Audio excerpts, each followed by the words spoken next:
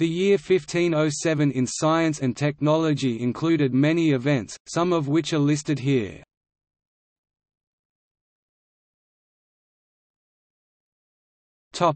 Cartography.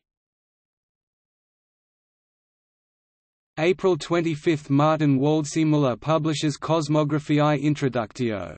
Introduction to Universal Cosmography, probably written by Matthias Ringmann and accompanying wall map, the first to show and name the Americas as a separate continent. Johannes Ruysch's Map of the World is first published in editions of Ptolemy's Geography produced in Rome.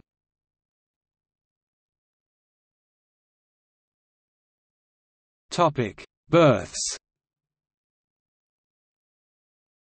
September 27 – Guillaume Rondelet, French physician died 1566. Topic: Deaths July 29 – Martin Behaim, German navigator and geographer born 1459.